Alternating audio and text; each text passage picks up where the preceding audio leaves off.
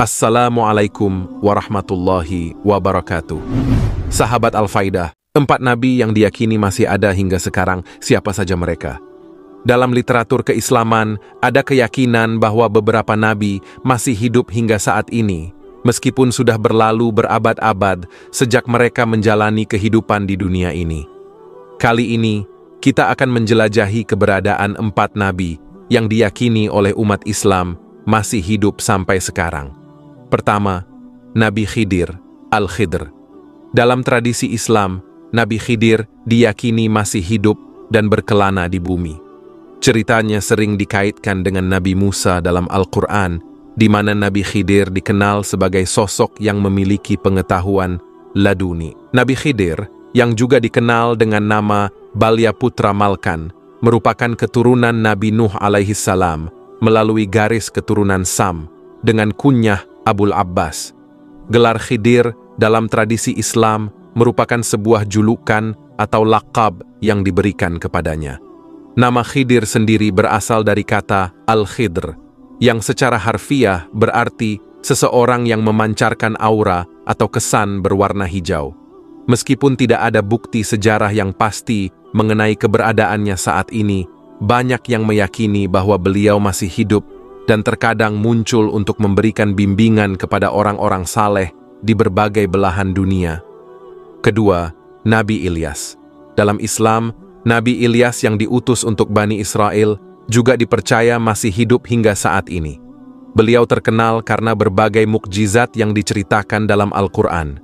Kisah Nabi Ilyas tercatat dalam Al-Quran, terutama dalam surah As-Saffat, ayat 123 hingga 132.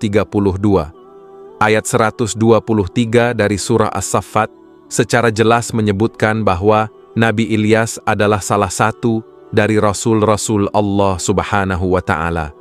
Ayat tersebut menyatakan sesungguhnya Ilyas benar-benar termasuk para rasul. Quran surat As-Saffat ayat 123. Dalam beberapa literatur lainnya disebutkan bahwa ketika saat kematiannya tiba, Nabi Ilyas dipercaya menolak kedatangan malaikat Israel yang ditugaskan untuk mencabut nyawanya. Meskipun Nabi Ilyas siap untuk terus berdakwah, ia merasakan kesedihan dan enggan meninggalkan dunia. Malaikat Israel kemudian bertanya, mengapa Nabi Ilyas merasa enggan untuk pergi, dan Nabi Ilyas menjawab bahwa ia merasa malu karena belum cukup berzikir dan berdoa kepada Allah Subhanahu wa Ta'ala. Nabi Ilyas bahkan memohon agar ajalnya ditunda hingga hari kiamat karena kekhawatirannya bahwa tidak akan ada yang berzikir untuk Allah Subhanahu wa taala hingga akhir zaman. Allah Subhanahu wa taala pun mengabulkan permintaan Nabi Ilyas untuk menunda kematiannya. Ketiga, Nabi Isa. Dalam ajaran Islam, Nabi Isa juga dipercaya masih hidup dan akan kembali ke dunia menjelang hari kiamat. Al-Quran menyebutkan bahwa beliau tidak wafat di kayu salib, melainkan diangkat ke langit oleh Allah Subhanahu wa Ta'ala. Keyakinan ini berbeda dengan kepercayaan Kristen yang menyatakan bahwa Yesus wafat di kayu salib dan kemudian bangkit dari kematian. Hal ini termaktub dengan rinci dalam surah An-Nisa ayat 157. Allah Subhanahu wa Ta'ala berfirman, Di antara penyebab kekafiran kaum Yahudi adalah klaim mereka bahwa mereka telah membunuh Nabi Isa, Yesus bin Maryam, seorang Rasul Allah Subhanahu wa Ta'ala, padahal sebenarnya mereka tidak membunuhnya dan tidak pula menyalibnya. Tetapi yang mereka bunuh adalah seseorang yang diserupakan dengan Isa. Sesungguhnya orang-orang yang berselisih pendapat tentang pembunuhan Isa, mereka benar-benar dalam keraguan-raguan tentang siapa yang sebenarnya dibunuh itu. Selain itu, menurut pandangan Ibnu Taimiyah, Nabi Isa diketahui masih hidup dan berada di langit. Ketika beliau turun kembali ke dunia, beliau akan memerintah berdasarkan hukum yang terdapat dalam Al-Quran dan Sunnah, tanpa menambah atau mengurangi sesuatu yang bertentangan dengan kedua sumber utama tersebut. Selain itu, dalam hadits yang diriwayatkan oleh Bukhari, Nabi Muhammad Sallallahu Alaihi Wasallam juga menyebutkan bahwa Nabi Isa masih hidup. Demi jiwaku yang berada di tangannya, sungguh sudah dekat saatnya Nabi Isa, Isa, Ibnu Maryam alaihi salam akan turun ke dunia sebagai hakim yang adil. Dia akan menghapuskan penggunaan salib sebagai simbol, menghilangkan keberadaan babi, mengakhiri kewajiban pembayaran jizyah, upeti atau pajak, dan akan menyebarkan kekayaan dengan begitu melimpah sehingga tidak ada lagi yang mau menerimanya. Hadits Riwayat Bukhari Keyakinan ini menjadi bagian yang kuat dari akidah umat Islam, menekankan kepercayaan akan kembalinya Nabi Isa untuk menjalankan peran penting di akhir zaman. Meskipun keyakinan ini menimbulkan perdebatan, banyak orang yang meyakini bahwa Nabi Isa masih hidup di alam lain dan akan kembali di akhir zaman. Keempat, Nabi Idris Nabi Idris juga dipercaya masih hidup dan tinggal di dalam surga. Diceritakan bahwa suatu hari, Nabi Idris dikunjungi oleh malaikat Israel selama beberapa hari.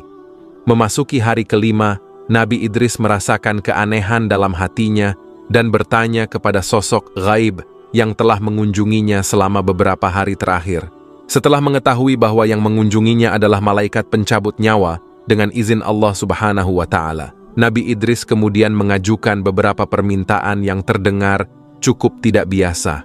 Dia meminta agar nyawanya dicabut sekarang juga dan kemudian dihidupkan kembali atas izin Allah subhanahu wa ta'ala. Permintaan itu pun dituruti.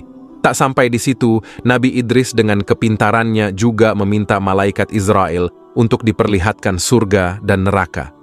Akan tetapi, kelihayan Nabi Idris terlihat saat berada di surga Nabi Idris sengaja meninggalkan sandalnya di dalam surga. Lantas ia meminta izin kepada Israel untuk mengambilnya.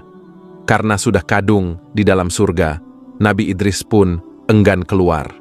Adapun di dalam Al-Quran, Nabi Idris hanya disebutkan sebanyak dua kali, yakni dalam surat Maryam ayat 56 dan 57. Dan ceritakanlah Muhammad kisah Idris di dalam kitab Al-Quran.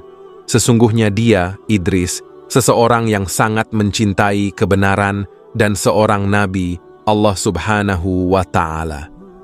Quran surat Maryam 56 hingga 57. Sahabat Al-Faidah, demikianlah kisah empat nabi yang diyakini masih hidup menurut keyakinan Islam. Nabi Khidir, Nabi Ilyas, Nabi Isa, dan Nabi Idris.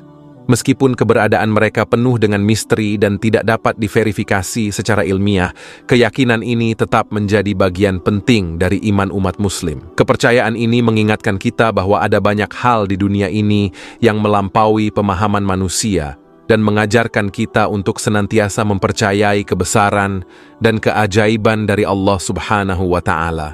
Sampai jumpa di konten berikutnya.